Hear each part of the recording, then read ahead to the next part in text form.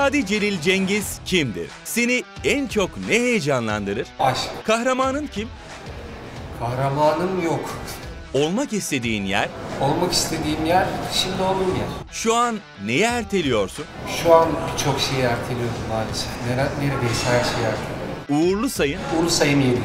Neden? Valla Galatasaray'dayım. 7 numarada Uğur oynuyordu zamanında orada. En büyük alışkanlığın? En büyük alışkanlığım. En büyük alışkanlığım kanemide yatıp kitaplama bakmak.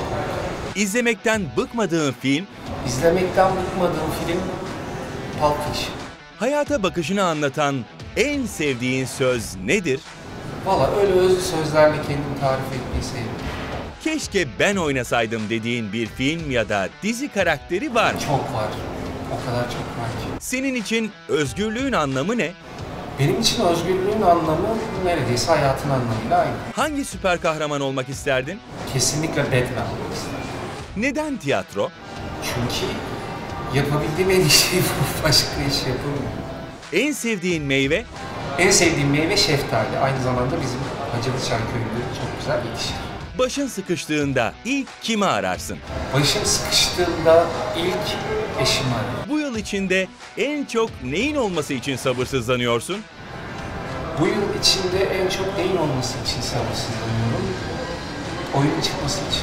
Bir şeyi anında mı yaparsın yoksa planlar mısın? Valla değişiyor genelde ama daha çok planlayarak.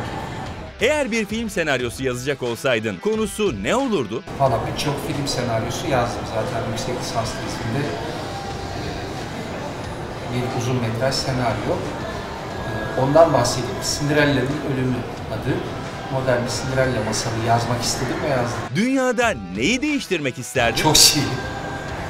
Örneğin mesela iklim değişikliklerini durdurmak isterdim.